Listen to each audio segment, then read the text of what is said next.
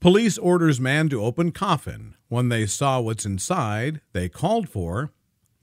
Under the muted amber of the streetlights, the night's chill wrapped around Officer Alex Jennings like a cloak as he patrolled a deserted stretch of highway. The quiet of the night, usually a solace, felt oppressive, as if charged with the anticipation of something unforeseen. It was then that a hearse emerged from the shadows, its slow, deliberate pace slicing through the silence. Something about the vehicle's cautious crawl ignited a spark of suspicion in Alex's mind, a whisper of unease that refused to be silenced. Memories of crime dramas he'd watched flickered through his mind. Tales where the dead were a cover for the dealings of the living, illicit activities hidden in plain sight.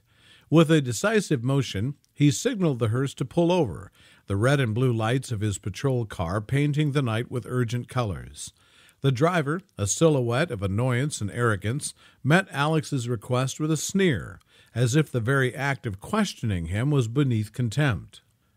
The insistence on opening the coffin, a demand driven by a mixture of duty and an inexplicable hunch, was met with resistance, but as the lid was pried open, the air seemed to still, time pausing in anticipation.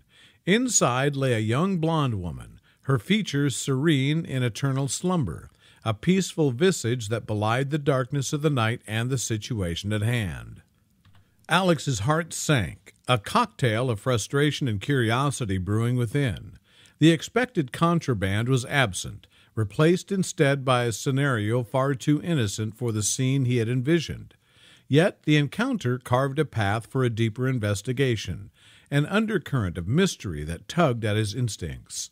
The peacefulness of the woman's repose, in stark contrast to the driver's defensiveness and the peculiar circumstances of their meeting, whispered of secrets hidden just beneath the surface.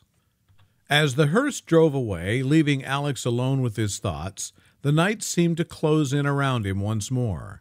The encounter, brief yet intense, had ignited a flame of determination.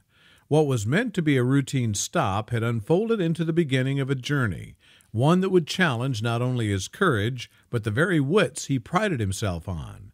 The road ahead was uncertain, veiled in shadows that only perseverance and a keen mind could hope to dispel. The sudden assault was swift and brutal, a blur of emotion that ended with Officer Alex Jennings succumbing to darkness. When consciousness seeped back, it was not to the familiar comfort of light, but to an oppressive blackness, thick and suffocating. The air was heavy, laced with the cold, metallic tang of death that clawed at his senses, a relentless reminder of his grim reality. Panic clawed at his chest, a wild, frantic thing, as the horrifying truth dawned on him. He was entombed within the claustrophobic embrace of a coffin, the weight of his situation as suffocating as the air he struggled to breathe. Beside him, the woman's presence was a silent accusation, her stillness a stark contrast to the chaos of his thoughts. The hearse's motion was a constant reminder of their macabre journey, the uneven roads jolting them in their shared grave. Each bump a grim punctuation to Alex's growing despair. It seemed as if hope had been sealed away with the coffin's lid, leaving him in a darkness both literal and metaphorical.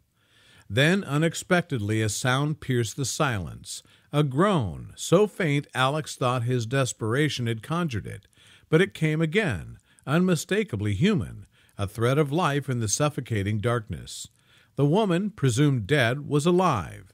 This revelation was a spark in the night, a flicker of possibility amidst the despair.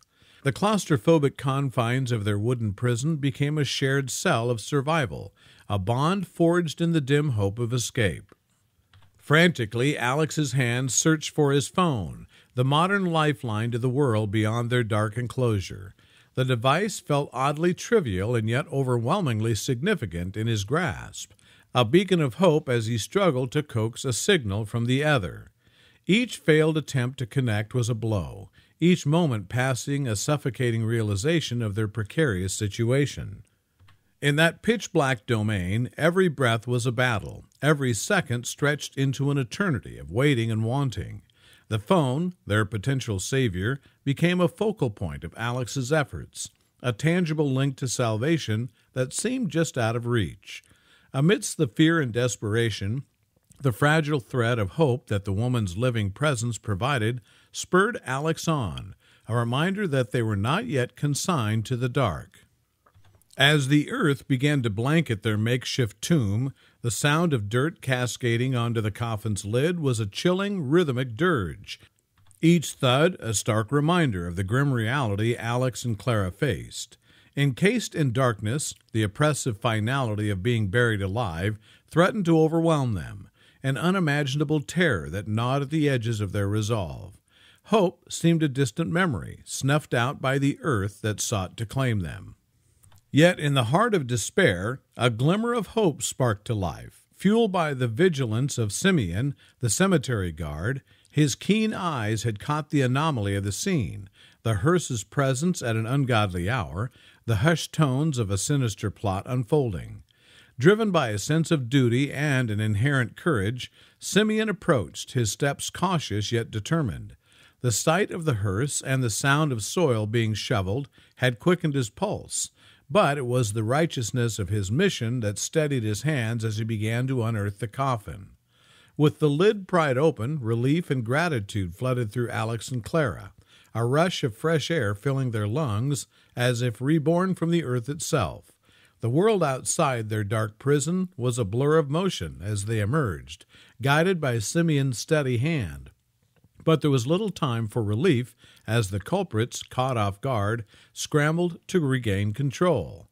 The confrontation that ensued was a maelstrom of chaos and resolve, a physical manifestation of the battle between greed and justice. Alex and Clara, fueled by the adrenaline of survival and the sharp sting of betrayal, fought alongside Simeon, their determination was a tangible force, as if the very night had lent them its strength to reclaim their lives from the jaws of death. As reinforcements arrived, the bleak shadows that had enveloped their ordeal began to dissipate, unraveling the nefarious plot woven by Clara's husband. It was greed, dark and consuming, that had orchestrated this grim dance, a plan thwarted by the unexpected resilience and bravery of Alex, Clara, and their unexpected ally. The ordeal, harrowing as it was, birthed a bond forged in the crucible of shared peril. Alex and Clara, their spirits indomitable, looked toward a horizon filled with hope. Their story, a testament to the strength found in unity and the triumph over darkness, hinted at a future where love and resilience could blossom from the most desolate of circumstances.